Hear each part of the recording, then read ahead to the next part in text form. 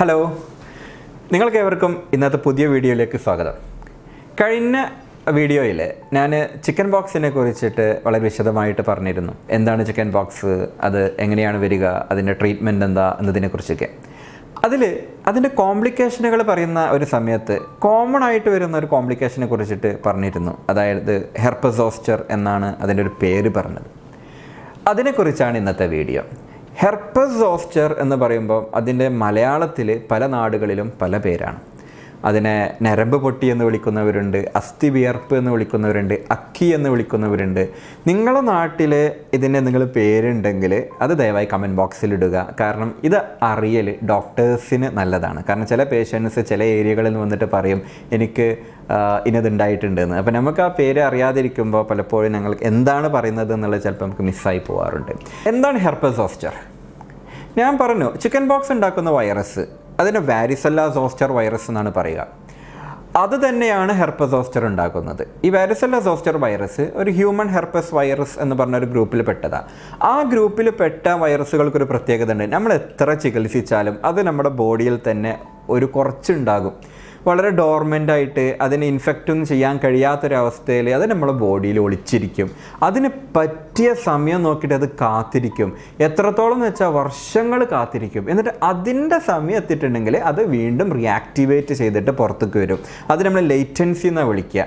അതുപോലെ ഈ varicella zoster വൈറസിന് നമ്മൾ മരുന്ന് കഴിച്ചാലും ഇല്ലെങ്കിലും അത് എന്ത് ചെയ്യും? നമ്മുടെ ബോഡിയിൽ ഏറ്റവും പ്രധാനമായിട്ട് നമ്മുടെ സുഷുമയിൽ അതായത് നട്ടെല്ലിന്റെ ഉള്ളിൽ കൂടി വരുന്ന നരമ്പുകൾ അതിന്റെ തുടക്ക ഭാഗത്ത് ഒരു ഡോർസൽ റൂട്ട് ഗാംഗ്ലിയോൺ എന്ന് പറഞ്ഞിട്ടുള്ള ചെറിയൊരു ഭാഗമുണ്ട്. അതിൽ പോയിട്ട് ഒളിച്ചിരിക്കും.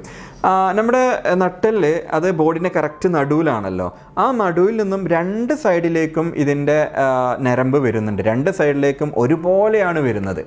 അപ്പോൾ ഈ വൈറസ് ഈ ഡോർസൽ റൂട്ട് ഗാംഗ്ലിയോൺ ഒളിച്ചിരുന്നിട്ട് അതിന് അനുയോജ്യമായിട്ടുള്ള ടൈം എത്തിയാൽ അത് റിയാക്ടിവേറ്റ് ചെയ്യും. ഏതാണ് ആ ടൈം നമ്മൾ പ്രായം കൂടുക അതായത് മോർ ദാൻ ഫിഫ്റ്റി ഇയേഴ്സ് അതല്ലെങ്കിൽ നമ്മുടെ ബോഡി വീക്കാവുക ഒരു പനി പോലെ എന്തെങ്കിലുമൊക്കെ വരിക നമുക്ക് എന്തെങ്കിലും ഇമ്മ്യൂണിറ്റി കുറയുന്ന കാര്യങ്ങൾ ഉണ്ടാവുക എച്ച് ഐ വി പോലത്തെ ഇൻഫെക്ഷൻസ് ഉണ്ടാവുക നമ്മൾ സ്റ്റീറോയിഡ് പോലുള്ള ഇമ്മ്യൂണിറ്റി കുറക്കുന്ന മരുന്നുകൾ കഴിക്കുക അതല്ലെങ്കിൽ ട്രാൻസ്പ്ലാന്റ് ചെയ്യുക അങ്ങനെ അതൊന്നും അല്ലെങ്കിൽ വളരെയധികം വലിയ സ്ട്രെസ്സിൽ വെതറൊക്കെ വളരെ ശക്തിയായിട്ടുള്ള കോൾഡ് ഹോട്ടൊക്കെ വരുമ്പോൾ അങ്ങനത്തെ എന്ത് ഇതുണ്ടെങ്കിലും ഈ വൈറസിന് റിയാക്ടിവേഷൻ കിട്ടാറുണ്ട്. അപ്പോൾ റിയാക്ടിവേറ്റ് ചെയ്യുമ്പോൾ റിയാക്ടിവേറ്റ് ചെയ്തിട്ട് ഈ വൈറസ് വരുമ്പോൾ എന്തൊക്കെയാണ് ഉണ്ടാവുക എന്ന് നമുക്ക് നോക്കാം. ഈ ഹെർപ്പസ് ഓസ്റ്ററിന് പ്രധാനമായിട്ട് മൂന്ന് സ്റ്റേജുകളാണുള്ളത് ആദ്യത്തെ സ്റ്റേജിൽ അത് നമ്മൾ പ്രീ ഹെർപ്പറ്റിക് ന്യൂറാൾജിയ എന്ന് പറയുക അതിൽ കാണാനൊന്നും ഉണ്ടാവില്ല. മറിച്ച് ശക്തമായിട്ടുള്ള പെയിൻ ഉണ്ടാവും. ഈ ഏത് നരമ്പിലാണോ ഈ വൈറസ് ഉള്ളത് ആ ഭാഗത്താണ് പെയിൻ ഉണ്ടാവുക. ഞാൻ പറഞ്ഞു രണ്ട് സൈഡിലേക്കും വരുന്നുണ്ട്. ഈ ഈ നട്ടലിൽ നിന്നുള്ള നരമ്പ് ബോഡിയുടെ രണ്ട് സൈഡിലേക്കും ഒരുപോലെയാണ് വരുന്നത്. അതായത് റൈറ്റ് സൈഡിലേക്ക് കൊടുക്കുന്ന നരമ്പ് ലെഫ്റ്റ് സൈഡിൽ കൊടുക്കുന്നുണ്ടാവില്ല. അപ്പോൾ റൈറ്റ് സൈഡിലെ നരമ്പിലാണ് ഇപ്പം എന്റെ ചെസ്റ്റിന്റെ റൈറ്റ് സൈഡിലെ നരമ്പിലാണ് ഈ വൈറസ് ഒളിച്ചിരുന്നെങ്കിൽ എനിക്ക് റൈറ്റ് സൈഡ് എന്റെ ചെസ്റ്റിന്റെ റൈറ്റ് സൈഡിൽ മാത്രമാണ് വേദന ഉണ്ടാവുക. ലെഫ്റ്റ് സൈഡിൽ ഒന്നും ഉണ്ടാവില്ല. അപ്പോൾ ആ രീതിയിൽ ഇപ്പം ഒരു പേഷ്യന്റ് കഴിഞ്ഞ ദിവസം വന്നത്. അവർക്ക് ഈ ഭാഗത്താണ് വേദന വന്നത്. അപ്പോൾ അവർ ആദ്യ വേദന വന്നപ്പോൾ അവരെന്ത് ചെയ്തു? നേരെ ഓർത്തോപെഡീഷനെ കാണിക്കാൻ പോയി. അപ്പോൾ അവർ ഷോൾഡർ പെയിൻ ആണ് എന്നുള്ള നിലയ്ക്ക് ഒരുപാട് ഇൻവെസ്റ്റിഗേഷൻ കാര്യങ്ങളൊക്കെ ചെയ്ത്. വേറൊരു പേഷ്യന്റ് അവർക്ക് ഈ ചെസ്റ്റിന്റെ ലെഫ്റ്റ് സൈഡിലാണ് പെയിൻ വന്നത്. അപ്പോൾ അവർ വിചാരിച്ചു അത് ഹൃദയവേദനയാണെന്ന് വിചാരിച്ചിട്ട് അവർ കാർഡിയോളജിസ്റ്റിനെ കാണിക്കാൻ പോയിട്ട് അവർ echo T M T C G പോലുള്ള കാര്യങ്ങളൊക്കെ എടുക്കേണ്ടി വന്നു. നമുക്കിതിൽ ആരും കുറ്റം പറയാൻ പറ്റില്ല. കാരണം എന്താ വെച്ചാൽ ഇത് ഒന്നും കാണാനുണ്ടാവില്ല. ജസ്റ്റ് പെയിന് മാത്രമേ ഉണ്ടാവുള്ളൂ. അപ്പോൾ അങ്ങനെയാകുമ്പോൾ നമ്മളിപ്പോൾ ഈ ഭാഗത്ത് വരുമ്പോൾ അത് ഹൃദയവേദന അല്ല എന്നുള്ളത് നമ്മൾ ഉറപ്പിക്കേണ്ടി വരും. അറ്റാക്ക് അല്ല എന്ന് ഉറപ്പിക്കേണ്ടി വരുമല്ലോ. അപ്പോൾ ഈ പെയിന് വന്നിട്ട് കുറച്ച് ദിവസം കഴിയുമ്പോൾ ആ ഭാഗങ്ങളിൽ ചെറിയൊരു ചുവന്ന തടിപ്പ് വരും. അതിനുശേഷം അതിൽ കുമിളകൾ വരും. അപ്പോൾ ഞാൻ ചിക്കൻ ബോക്സിന്റെ ഇത് പറയുന്ന സമയത്ത് പറഞ്ഞിരുന്നു. ഈ ചിക്കൻ ബോക്സിന്റെ കുമിളകൾ ഈ ചുവന്ന പാടുകളിൽ വരുമ്പോൾ അതൊരു മഞ്ഞ് തുള്ളി പോലെ ഒരു ഡ്യൂ ഡ്രോപ്പ് എന്ന് പറയുക ആ രീതിയിലാണ് വരിക ഇത് കുറച്ചും കൂടിയും വലിയ അത് ഗ്രൂപ്പായിട്ട് ഇപ്പോൾ ഈ റൈറ്റ് സൈഡിലാണെങ്കിൽ ആ ഭാഗത്ത് ഗ്രൂപ്പായിട്ട് കുറേ കുമിളകൾ വരും. എന്നിട്ട് ആദ്യം ക്ലിയർ ആയിട്ടുള്ള വെള്ളമാണ് അതിന്റെ ഉള്ളിൽ ഉണ്ടാവുക കുറച്ച് കഴിയുമ്പോൾ അത് കുറച്ച് ക്ലൗഡി ആയിട്ട് കുറച്ച് സ്മോക്കി ആയിട്ട് മാറും. എന്നിട്ട് എന്താ കുറച്ച് കഴിയുമ്പോൾ അത് പിന്നെ കരിഞ്ഞ് ഉണങ്ങിപ്പോവും. അവിടെ ചെറിയൊരു സ്കാർ ഉണ്ടാവും. അപ്പോൾ ആ രീതിയിലാണ് ഇതിന്റെ നാച്ചുറലായിട്ടുള്ള ഒരു ഇത് വരിക. അത് നമ്മൾ കറക്റ്റായി ട്രീറ്റ്മെന്റ് എടുത്തിട്ടുണ്ടെങ്കിൽ within one two two weeks അത് കംപ്ലീറ്റ് ആയിട്ട് അത് ക്ലിയർ ആക്കാൻ പറ്റും. അതേസമയം ഇതിന്റെ ഏറ്റവും വലിയ പ്രശ്നം ചിക്കൻ ബോക്സിൽ അത് വലിയൊരു പെയിനൊന്നും ഉണ്ടാവില്ല. ചിലർക്ക് ചെറിയ ഇറിറ്റേഷന് ചൊറിച്ചിൽ അങ്ങനെയൊക്കെ ഉണ്ടാവുക ഇതിൽ ശക്തമായിട്ടുള്ള പെയിൻ ഉണ്ടാവും. പെയിൻ എന്ന് പറയുമ്പോൾ ചില പേഷ്യൻസ് പറയാറുള്ളത് ഈ ജീവിതത്തിൽ ഇത്ര വലിയൊരു പെയിൻ അനുഭവിച്ചിട്ടില്ല എന്നുള്ള. അത്ര രീതിയിലുള്ള പെയിൻ ഉണ്ടാവും. അത് കുറച്ച് കഴിയുമ്പോൾ ഈ പിന്നെ ഇത് ഉണങ്ങി പോകുമ്പോൾ ചിലവർക്ക് അത് കുറഞ്ഞു പോകാറുണ്ട് ഈ പെയിന് വരുന്നത് നമ്മളിപ്പോൾ ഒരു മുറി ഉണ്ടാവുമ്പോൾ ഉണ്ടാവുന്ന പോലത്തെ ഒരു പെയിൻ അല്ല അത്. മറിച്ച് ഇത് നരമ്പിന്റെ പെയിനാണ് നരമ്പിന്റെ പെയിൻ ഈ ന്യൂറോൺസിന്റെ പെയിനാണത് നമുക്ക് നരമ്പ് എന്ന് പറഞ്ഞാൽ നമുക്കറിയാം. എത്രത്തോളം ഇമ്പോർട്ടന്റ് ആണെന്ന് നമുക്കറിയാം. നമ്മൾ ഇവിടെ ഒന്ന് ടച്ച് ചെയ്യുമ്പോൾ ആ ടച്ചിനെ നമുക്ക് പെർസീവ് ചെയ്യാൻ കഴിയുന്ന ഈ ഞരമ്പുള്ളത് കൊണ്ടാണ് നമുക്ക് എന്ത് ഫീലിംഗ് ഉണ്ടെങ്കിലും ആ ഫീലിംഗ് നമുക്കുണ്ടാവുന്ന ഞരമ്പിനെ കൊണ്ടാണ് ആ ഞരമ്പിൽ വെറും പെയിനാണുള്ളതെങ്കിൽ എന്താണ് പറ്റുക? ശക്തമായിട്ടുള്ള പെയിൻ ആയിരിക്കും. അപ്പോൾ ഇങ്ങനെയൊക്കെ കഴിഞ്ഞിട്ട് ചില ആളുകൾക്ക് കംപ്ലീറ്റ് ആയിട്ട് പോകും ചെറിയ സ്കാർ മാത്രമേ ഉണ്ടാവുള്ളൂ. എന്നാൽ വേറെ ചില ആളുകളിൽ മൂന്നാമത്തെ സ്റ്റേജിൽ പോസ്റ്റ് എർപ്പറ്റിക് ന്യൂറാൾജിയ എന്ന് പറഞ്ഞൊരു സ്റ്റേജ് ഉണ്ട്. അത് ശക്തമായിട്ടുള്ള പെയിന് അത് മൂന്ന് മാസം കഴിഞ്ഞിട്ടും അത് നിലനിൽക്കാൻ ചാൻസ് ഉള്ളതാണ്. അതിനെക്കുറിച്ച് സെപ്പറേറ്റ് ആയിട്ട് ഒരു വീഡിയോ ഞാൻ അടുത്ത് ചെയ്യുന്നതാണ്. അപ്പോൾ ഇങ്ങനെ വരുമ്പോൾ ഇതിനെ കണ്ടുപിടിക്കാൻ ഒരു ഡെർമറ്റോളജിസ്റ്റിന്റെ അടുത്തോ അല്ലെങ്കിൽ ഒരു സ്കിൻ ഒരു നല്ല ഡോക്ടറെ അടുത്ത് പോയിട്ടുണ്ടെങ്കിൽ അവർക്ക് ആ ക്ലിനിക്കലി തന്നെ ഇത് ഹെർപ്പസോസ്റ്റർ എന്നുള്ളത് ആ കുമിളകളും അതുപോലെ ഈ ശരീരത്തിന്റെ ഒരു ഭാഗത്ത് മാത്രമൊക്കെ കാണുമ്പോൾ അവർക്ക് മനസ്സിലാക്കാവുന്നതാണ്. വേറെ ടെസ്റ്റുകളൊന്നും അതിന് ചെയ്യേണ്ടി വരില്ല. അതേസമയം നമുക്കിതിൽ ഏറ്റവും ഇമ്പോർട്ടന്റ് ആയിട്ടുള്ളതിന് ട്രീറ്റ്മെന്റ് ആണ്. ട്രീറ്റ്മെന്റ് തുടക്കം മുതലേ സ്റ്റാർട്ട് ചെയ്യണം എന്നുള്ളത് വളരെ ഇമ്പോർട്ടന്റ് അതായത് ഫസ്റ്റത്തെ സെവന്റി ടു അവേഴ്സിന്റെ ഉള്ളിൽ തന്നെ നമ്മൾ ട്രീറ്റ്മെന്റ് സ്റ്റാർട്ട് ചെയ്യണം. ചെയ്തിട്ടില്ലെങ്കിൽ ഞാൻ പറഞ്ഞിട്ടുള്ള മൂന്നാമത്തെ കോംപ്ലിക്കേഷൻ ഉണ്ട് മൂന്നാമത്തെ സ്റ്റേജ് ഉണ്ടല്ലോ പോസ്റ്റർപെറ്റി ന്യൂറോളജി അത് വരാനുള്ള ചാൻസ് കൂടുതലാണ് എത്രയും പെട്ടെന്ന് ചെയ്യുന്നു അത്രയും പെട്ടെന്ന് ഇത് ഉണങ്ങുകയും ചെയ്യും ഇതിന്റെ പെയിന് കുറയുകയും ചെയ്യും. അപ്പോൾ ഇത് വരുമ്പോൾ വീട്ടിലുള്ള ഏതെങ്കിലും ക്രീം ഒന്നും അപ്ലൈ ചെയ് അങ്ങനെ ചെയ്യാൻ നിൽക്കാതെ നേരെ തന്നെ ഡോക്ടറെ കാണിച്ചിട്ട് പെട്ടെന്ന് തന്നെ ട്രീറ്റ്മെന്റ് എടുക്കലാണ് നമ്മൾ എല്ലാവരും ഈ പ്രശ്നം ഉണ്ടായ എല്ലാവരും ആദ്യമായിട്ട് ചെയ്യേണ്ടത്. ചില കണക്കുകളിൽ പറയുന്നത് ചിക്കൻ ബോക്സ് വന്ന ഏഴ് ആളുകളിൽ ഒരാൾക്കെങ്കിലും ഹെർപ്പസോസ്റ്റർ എന്ന് പറഞ്ഞിട്ടുള്ള ഈ കണ്ടീഷൻ വരാൻ ചാൻസ് ഉണ്ട് എന്നാണ്. അപ്പോൾ ചിക്കൻ ബോക്സ് വന്ന ഉടനെ തന്നെ നമ്മൾ ട്രീറ്റ്മെന്റ് ചെയ്യുകയാണെങ്കിൽ ഈ ഹെർപ്പസ് സോസ്റ്റർ വരാനുള്ള ചാൻസ് കുറയും. അപ്പോൾ നേരത്തെ പറഞ്ഞ പോലെ ഹെർപ്പസ് സോസ്റ്റർ വന്ന ഉടനെ തന്നെ ട്രീറ്റ് ചെയ്യുകയാണെങ്കിൽ പോസ്റ്റ് ഹെർപ്പറ്റി ന്യൂറാൾജിയ എന്നുള്ള കോംപ്ലിക്കേഷനും കുറയും. അപ്പോൾ ട്രീറ്റ്മെന്റ് ചിക്കൻ ബോക്സ് ആണെങ്കിലും ഹെർപ്പസ് ഓസ്റ്റർ ആണെങ്കിലൊക്കെ വളരെ പെട്ടെന്ന് തുടങ്ങുക എന്നുള്ളത് അതിന്റെ കോംപ്ലിക്കേഷന് വരാതിരിക്കാൻ വേണ്ടിയിട്ടുള്ള ഏറ്റവും ഇമ്പോർട്ടന്റ് ആയിട്ടുള്ള ഒരു കാര്യമാണ്. ഇനി ഇതിന്റെ ട്രീറ്റ്മെന്റ് എന്താണെന്ന് നോക്കാം. ഏറ്റവും പ്രധാനമായിട്ട് ഡോക്ടേഴ്സ് തരുക നമ്മൾ ചിക്കൻ ബോക്സിന് കൊടുത്ത പോലെ തന്നെയുള്ള ആന്റി വൈറൽ മെഡിക്കേഷൻസ് ആണ്. സൈക്ലോവിർ വെലാസൈക്ലോവിർ പോലുള്ള മെഡിക്കേഷൻസ് ആണ്.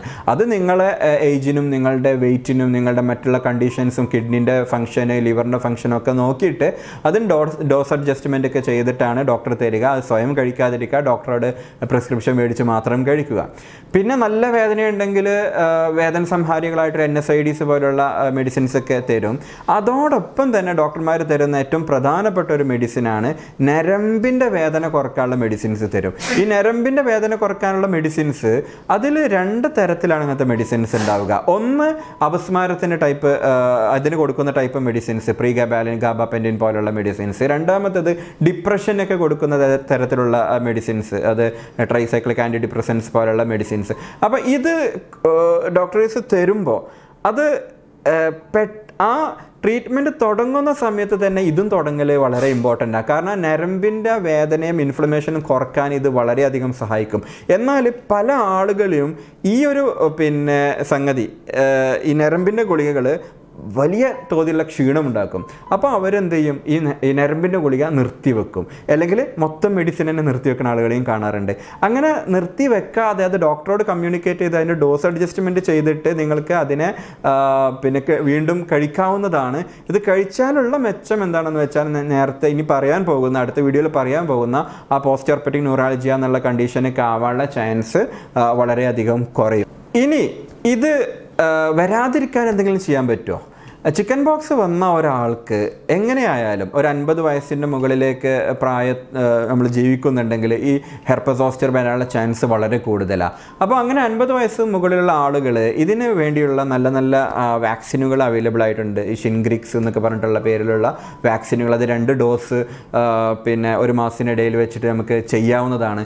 അത് ഇന്ത്യയിൽ ഏകദേശം ഏഴായിരം എട്ടായിരം റുപ്യോളം ചിലവ് വരുന്ന ഒരു വാക്സിനാണ്. അത് വെച്ചിട്ടുണ്ടെങ്കിൽ ഇത് വരാനുള്ള ചാൻസ് വളരെയധികം കുറയുന്നതാണ്. ഇനി ഈ ഹെർബസോസ്റ്റർ വന്നാൽ എന്തെങ്കിലും കോംപ്ലിക്കേഷൻ ഉണ്ടോ?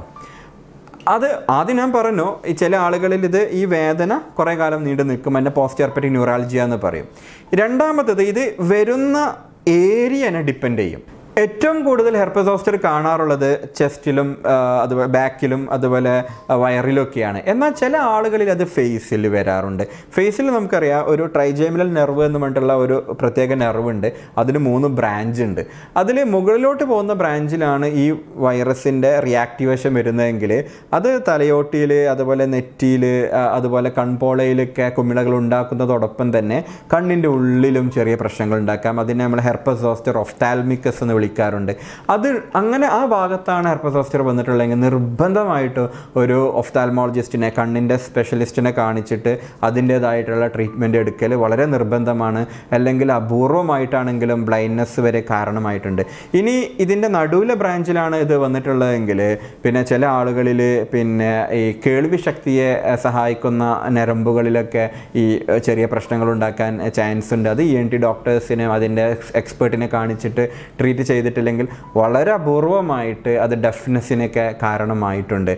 കേൾക്കുമ്പോൾ പേടിക്കുന്നു വേണ്ട. കറക്റ്റായുള്ള ട്രീറ്റ്മെന്റ് എടുത്തിട്ടുണ്ടെങ്കിൽ ഈ കോംപ്ലിക്കേഷനൊക്കെ നമുക്ക് അവോയ്ഡ് ചെയ്യാവുന്ന തന്നെയാണ്. ഇനി ഈ ടോപ്പിക്ക് അവസാനിപ്പിക്കുന്നതിന് മുമ്പ് ഏറ്റവും പ്രധാനപ്പെട്ട ചിലപ്പം പല ആളുകളും ഈ ഒരു പോയിന്റിന് വേണ്ടിയും കാത്തിരിക്കുന്നുണ്ടാവുക. ഹെർപ്പസോസ്റ്റർ വന്നാൽ അത് ആളുകൾക്ക് പകരുമോ? അതാണ് എല്ലാവർക്കും ഉള്ളൊരു ചോദ്യം ഹെർപ്പസോസ്റ്റർ വന്നാൽ പകരും. എന്താണ് പകര? ഹെർപ്പസോസ്റ്റർ അല്ല പകര. മറിച്ച് ചിക്കൻ ബോക്സ് ആണ് പകര. ഹെർപ്പസോസ്റ്ററിന്റെ കുമിളന്റെ ഉള്ളിലുള്ള വൈറസ് ഏതാണ്? വാരിസെല്ല സോസ്റ്റർ വൈറസാ അത് മറ്റൊരാളിലേക്ക് പകർന്നാൽ പകരാന്ന് പറയുമ്പോൾ ഞാൻ ചിക്കൻ ബോക്സിൽ പറഞ്ഞ പോലെ തുമ്മിയാലും അല്ലെങ്കിൽ ചുമച്ചാലും എന്നല്ല ആ ഒരു കറക്റ്റ് ബോഡി കോണ്ടാക്റ്റ് ഒക്കെ വന്നിട്ടുണ്ടെങ്കിൽ ചിക്കൻ ബോക്സ് നേരത്തെ വരാത്ത ഒരാളാണെങ്കിൽ അവർക്ക് ചിക്കൻ ബോക്സ് വരും. അതല്ലാതെ ഹെർപ്പസോസ്റ്റർ വന്നിട്ട് അതിന് ടച്ച് കൊണ്ട് വേറെ ആൾക്ക് ഹെർപ്പസോസ്റ്റർ വരില്ല. അത് വളരെ കൃത്യമായിട്ട് മനസ്സിലാക്കുക. നിങ്ങളുടെ വീട്ടിൽ ഒരാൾക്ക് ഹെർപ്പസോസ്റ്റർ വന്നിട്ടുണ്ട്. നിങ്ങൾക്ക് ഓൾറെഡി ചിക്കൻ ബോക്സ് വന്ന ഒരാളാണെങ്കിൽ അവരെ ശുശ്രൂഷിക്കണേ. നിങ്ങൾക്ക് ഒരു പേടിയും പേടിക്കേണ്ട. നിങ്ങൾക്ക് ചിക്കൻ ബോക്സ് വരില്ല. ഹെർപ്പസോസ്റ്റർ നിങ്ങൾക്ക് വരുമോ എന്നുള്ളത് നിങ്ങളുടെ ഇമ്മ്യൂണിറ്റിയെ നിങ്ങളെ മറ്റുള്ള കാര്യങ്ങളൊക്കെ ഡിപ്പെൻഡ് ചെയ്തിട്ടാണ് ആ കാര്യങ്ങളൊക്കെ. ഇത്രയും പറഞ്ഞാൽ നിങ്ങൾക്ക് എല്ലാവർക്കും മനസ്സിലായിട്ടുണ്ടെന്ന് വിചാരിക്കുന്നു. അപ്പോൾ അടുത്ത ഒരു വീഡിയോയിൽ ഞാൻ ഇതിന്റെ കോംപ്ലിക്കേഷൻ ആയിട്ടുള്ള പോസ്റ്റ് ഹെർപ്പറ്റിൻ ന്യൂറാൾജിയ എന്നുള്ള കണ്ടീഷനെ കുറിച്ചിട്ട് വളരെ ഡീറ്റെയിൽഡ് ആയിട്ട് വിശദീകരിക്കുന്നതാണ്. ടിൽ ദാറ്റ് ടൈം എല്ലാവർക്കും നന്ദി.